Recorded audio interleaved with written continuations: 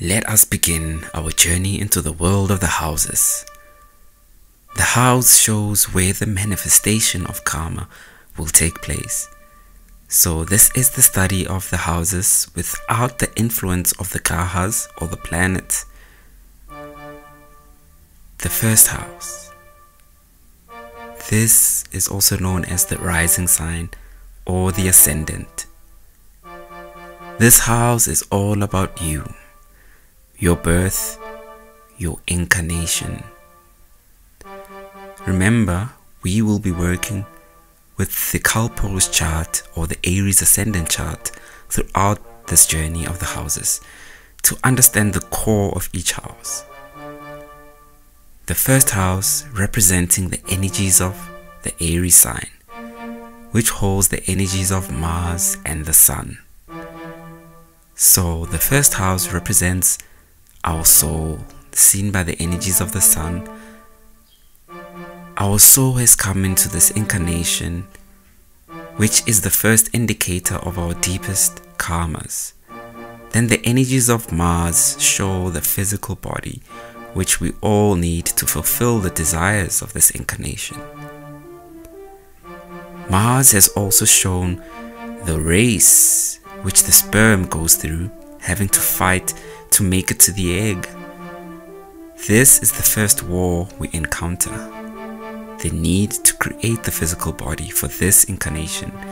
Then the painful process of childbirth is also represented by Mars, which is another struggle to enter this world. By our incarnation, we have won the first battle, the battle of our soul to come and complete all the karmas the soul holds. The first house shows who we are, our true being. The first house shows our physical body from the complexion to how our body looks like. The intellect also represented by the innate nature of our being, representing the head and brain area, is seen from the first house also.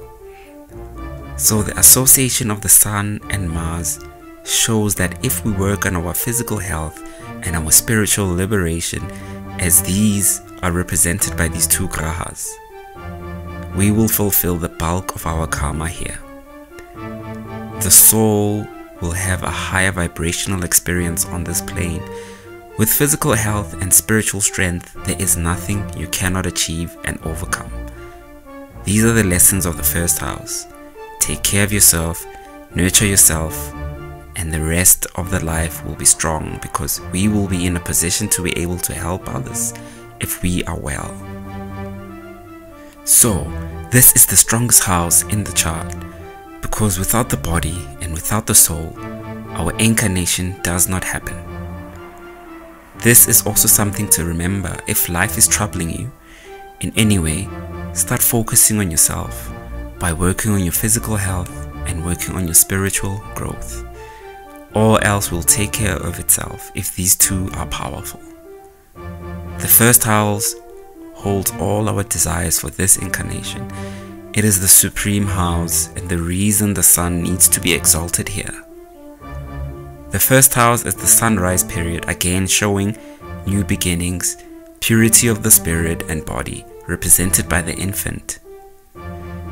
It is another opportunity to begin again. A new day has come. A new life has emerged.